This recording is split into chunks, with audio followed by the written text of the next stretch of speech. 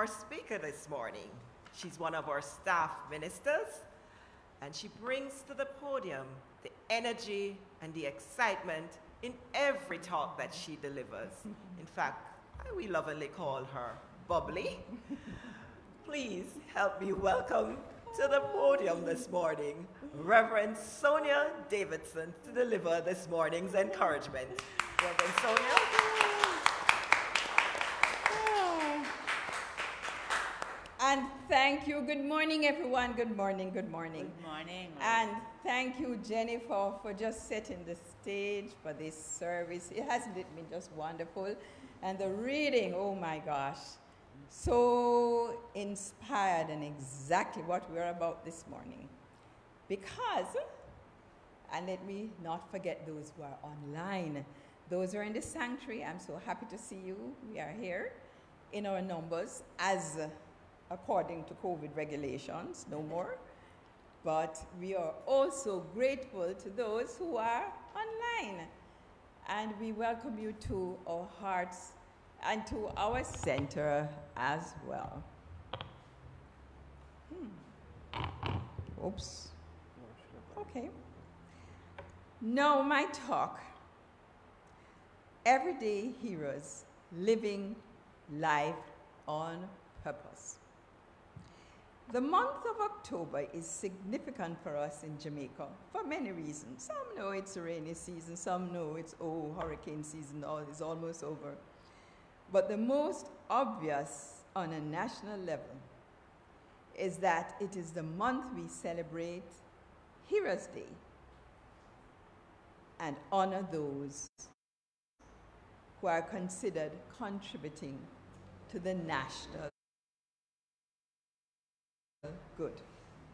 While we have elevated a few people to the stature of national heroes, and numerous others have been acknowledged since then for contributing to the nation, I cannot help but remember all the millions of unsung heroes and heroines among us. A verse from this poem titled Elegy, written in a country churchyard by Thomas Gray, stands out for me. Those of you who are of my seniority will remember that we were compelled to learn it by heart. I remember only two lines, but they are the ones I am contributing this morning. But recently, I read it with a different mindset from the parroting that we did when I was a child. And I have understood it in a different way. It goes like this the lines that I have chosen full many a gem of purest ray serene, the dark, unfathomed caves of ocean beer. Full many a flower is born to blush unseen and waste its sweetness on the desert air. Read it if you wish, and you can. It is a very dark poem, which has, however, stood the test of time. Perhaps because it reflects how some people may think of their lives in the twilight of their years. As they witness so many people dying, apparently apparently unappreciated, and wondering if they too, despite their best efforts, will be remembered in the same way or not at all. Friends, I guess the human part of us, somewhere along the journey of life, may wonder if what we're doing is appreciated, if the effort makes sense. We may even feel discouraged at points, as obviously Mr. Gray of Gray's Elegy in a country churchyard felt. Perhaps Mr. Gray was writing, writing this poem at a time not unlike what the world is going through now, when so many people we know are dying, transitioning, whatever you prefer, and it was really getting to him. What can I say? People have to feel what they need to feel and express how they feel sincerely. But listen to another person's perspective on life and death. All men should strive before they die to discover what they are running from and to and why, said James Thurber. You see, friends, it is now while there is breath in us that we must know our purpose for living and live from what we know of it. When we do, there will be less temptation to be concerned about what people think of what we are doing with our lives or about how we will be remembered when we have parted company with this plane of existence. Life is a gift, and I do not intend to waste a moment of it in anything other than self discovery. For this process of discovery never ends. Jesus the Master said of his passionate and successful healing ministry, Not I, but the Father in me does the work. And from the Science of Mind textbook, page 419, I draw these words of inspiration. All the mystics have recognized the absolute unity of God and man. Within the infinite mind, each individual exists not as separated, but as a separate and distinct entity. We are a point of universal consciousness, which is God. We are not separated from life, neither is it separated from us, but we are separate entities in it, individualized centers of God consciousness, unquote. The goal of self discovery is the complete acceptance of this idea, for on it rests our fulfillment of our true purpose of being. Donald Curtis, Dr. Donald Curtis, Reverend Donald Curtis, a New Thought luminary, teacher, and writer, says it this way There is nothing that can deter the person who knows who he is or where he is going. Unquote. Each of us will come to discover that the ultimate purpose of life is to live out that unique pattern or design of being which we are created to be.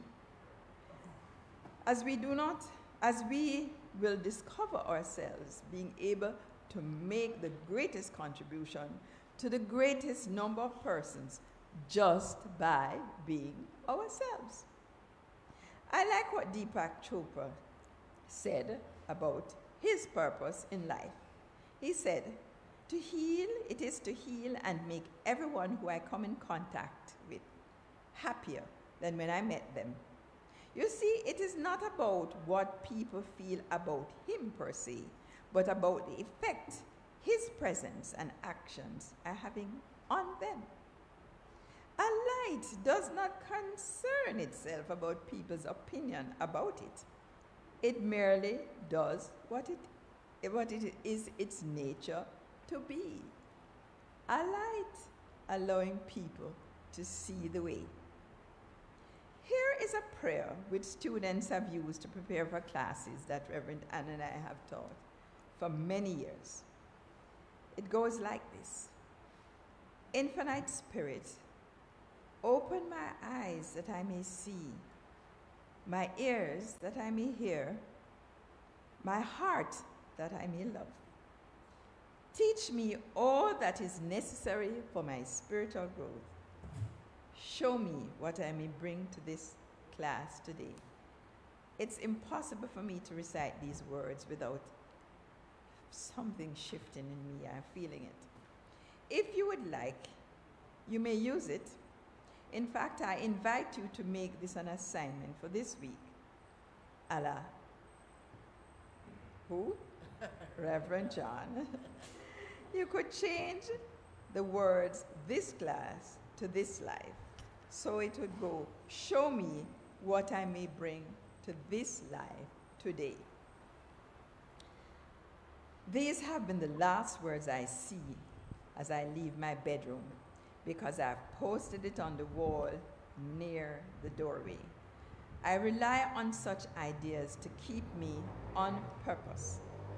Remember, we are individualized centers of consciousness within the infinite mind, which is God. Just taking that for a moment. Individualized centers of consciousness within the infinite mind, which is God.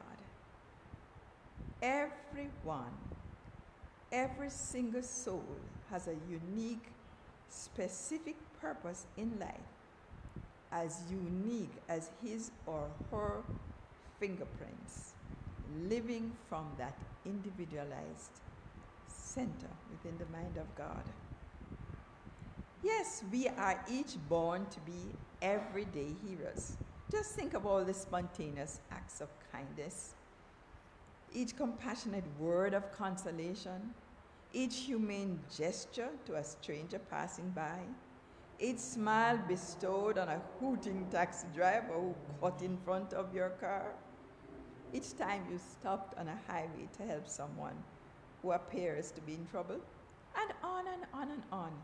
I am sure if we take time to pause, each one of us remember these casual acts.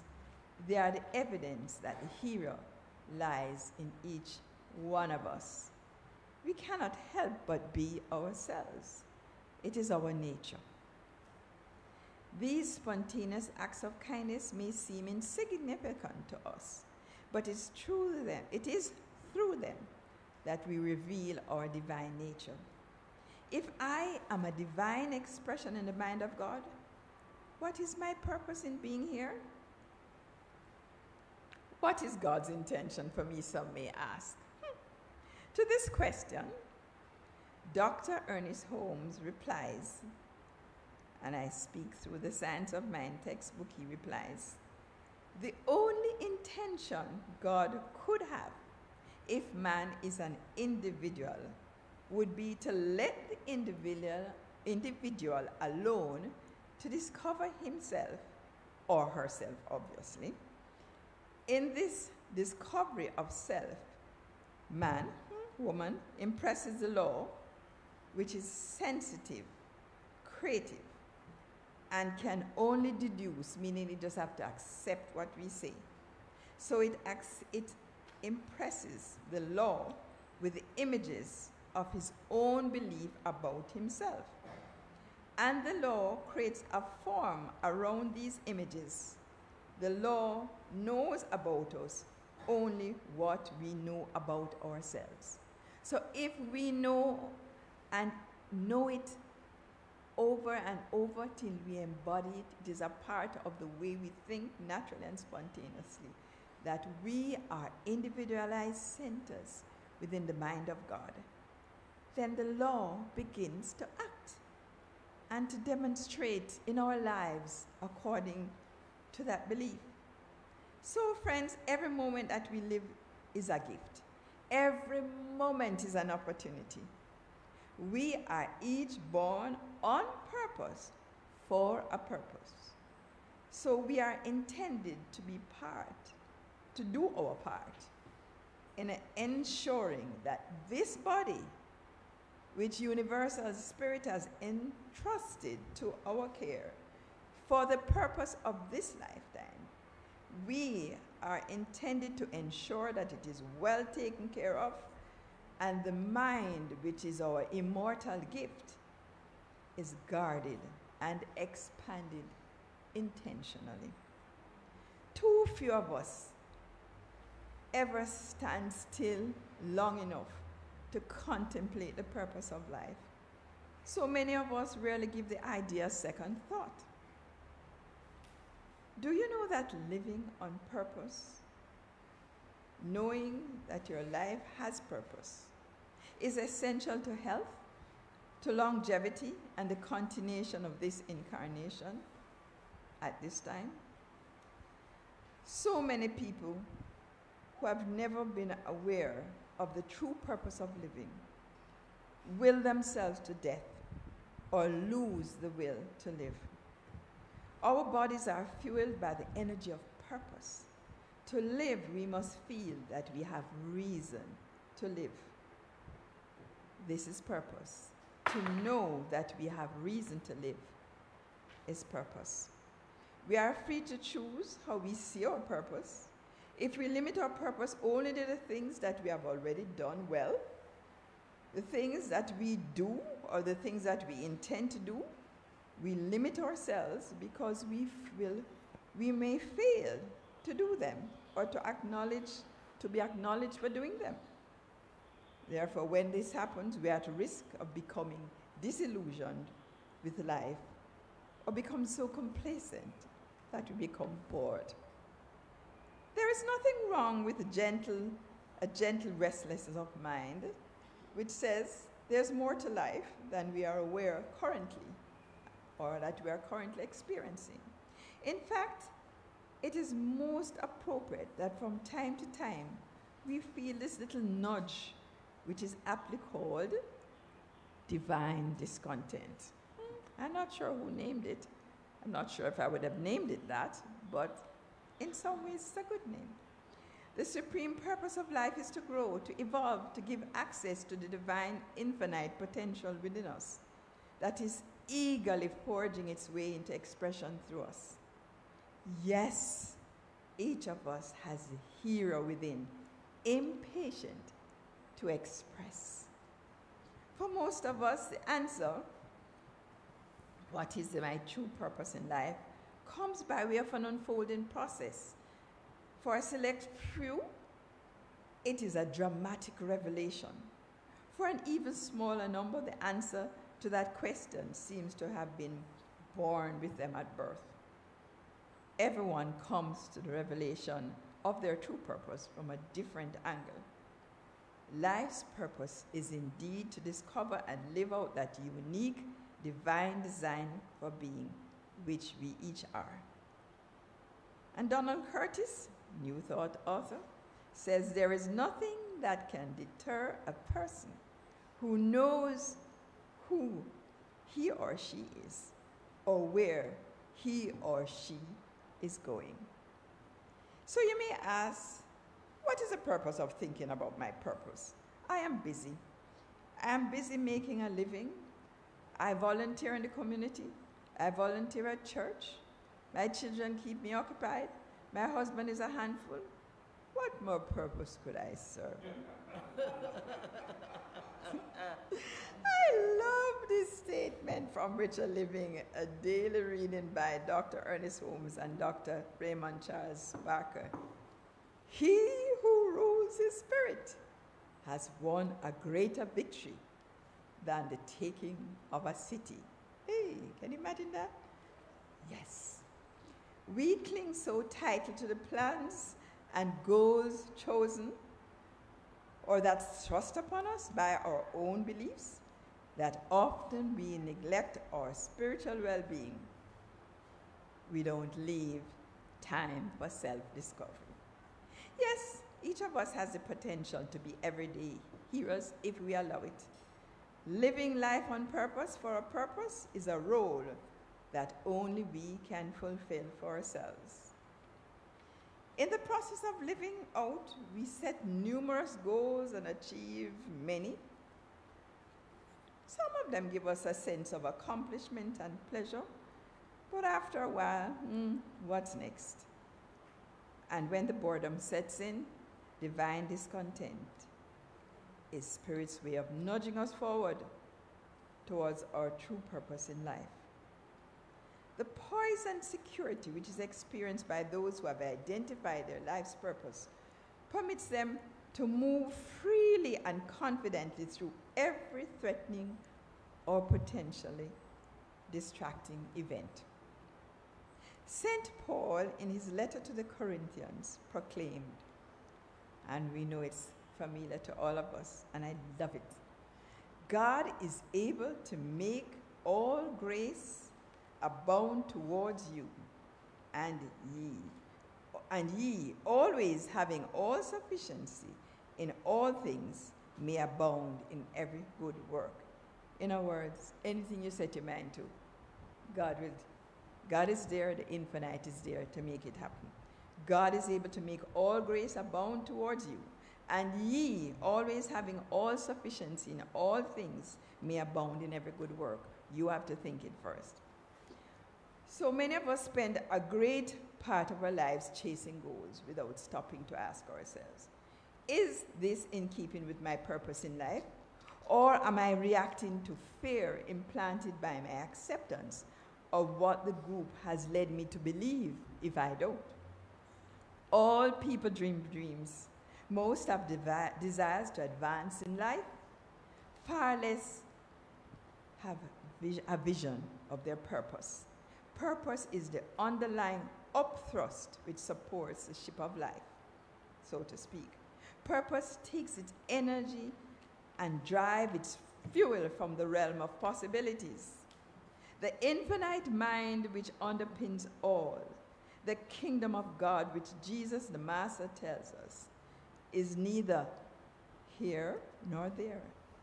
It is at hand, it is within man. Elsewhere, he says, yes, it is at hand. But I like the verse which says, it is within man. Look it up. The journey towards deliberate self self discovery is within our everyday spiritual practices, all of which turn our attention inward. Meditation, basking in the silence, listening for the small, still voice as we seek its advice, affirmative prayer, contemplating the divine nature and its relationship to all things and all people, including ourselves, recording our insights in words.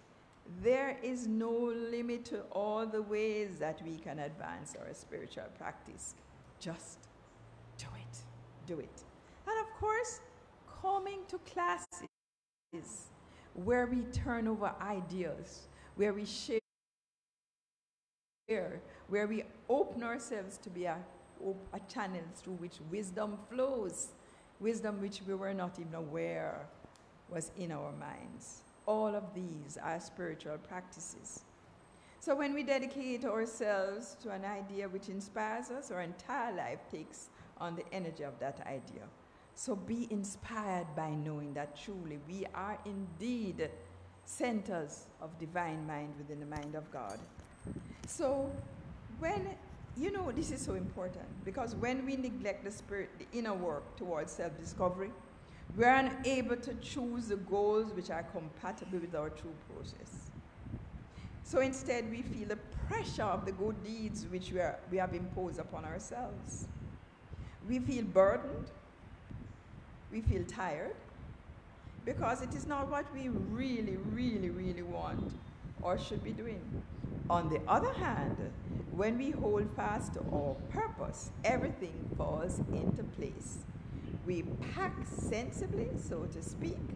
We begin to have desires which correspond to that which fulfills it, and spontaneously discard these desires, beliefs, emotions, aims, and experiences which do not fit into our life's purpose.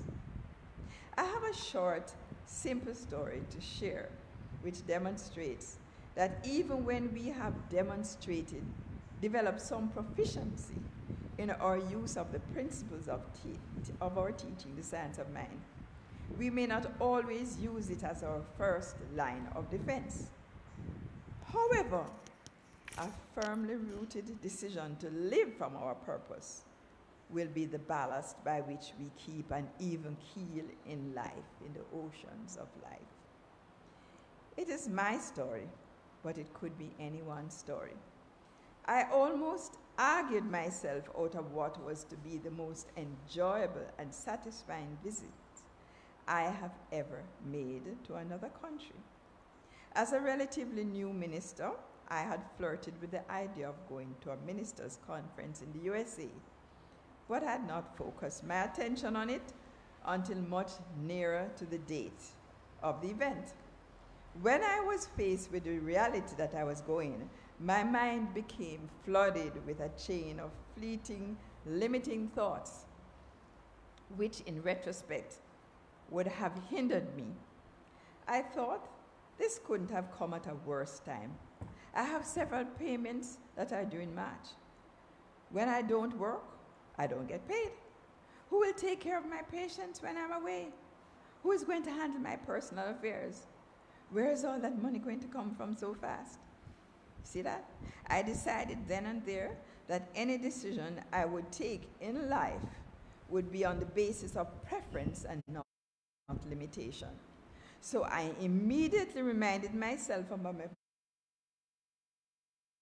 of my purpose to grow spiritually through ministry and went into treatment for right action and clarity. The answer came in the form of a smoldering desire, which grew into a definite intention. Then a certainty, followed almost immediately by a chain of spontaneous reactions, events, and arrangements. As my enthusiasm grew, events, arrangements, money, everything fell into place with precision. The trip was perfect from beginning to end. In the meeting, there were many senior ministers whose books we have no, with books with whom we have now become familiar.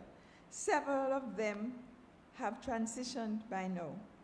I realized that I had been in bondage to my habitual lifestyle. The same law which allowed me to think myself into bondage is the law which freed me of my own bidding. When we live out our lives in the context of our purpose, we trim the baggage from our lives, we begin to travel lighter and more streamlined and make less detours because we know where the highlight highway leads us. We move full stream ahead. So, according to Iyanla Vanzant, a popular author and motivational speaker, the one who is traveling on purpose packs light, which makes the journey easy. So when we are traveling on purpose, we pack truth, courage, and faith, unquote. So, friends, I have no doubt that most of you are, who are listening to me are, in fact, living out your purpose. You are indeed everyday heroes. But by making a promise to stay firmly on the path of our purpose, the journey becomes more delightful. This is the nature of the divine life, which is the hero that lies within. So, friends, let us agree together to take some time to rediscover ourselves as we go within to speak to that quiet place, to the, going into that quiet place and speak from the silence. Sometimes we hear that silence thundering at us. Sometimes it is just a deep reassurance. So, friends, everyone who sets out on purpose to grow through self discovery and by a determination to live on purpose for the supreme purpose has set out on the hero's journey, who has set out on this hero's journey, has joined the ranks of everyday heroes and even the ones who we recall who have been named as our national heroes, the mystic of the ages. We have that in common, that we are living on purpose as they did. So, purpose is what gets us out of bed each day. It is what carries us forward when things seem less than ideal. With purpose comes clarity, diligence, dedication, commitment, steadfastness, tenacity, enthusiasm, vitality. Through all of this, we feel centered, anchored, and secure. Purpose, I say, puts fire in the belly, food on the table, peace in the soul, and joy in the heart. So let us use that energy, that passion, that purpose, that heroism to do this blessing that I'm going to read. And I ask you, as often as you can, remember that heroes are the light that shines and joins the flame that is blazing to move humanity forward into that great new age. And I read the blessing. I think a kind thought for all the world. I declare here and now that all the world is happy and blessed. So I'm going to break it down, and I want you to join me and say it from your heart. I think a kind thought for all the world. I think a kind thought for all the world. I declare here and now, I declare here and now that all the world is happy and blessed. That all the world is happy and blessed. I salute the hero in you. I salute the hero in you. Please make eye contact with somebody and say, I salute the hero in you. You are indeed living on purpose for a purpose. Namaste.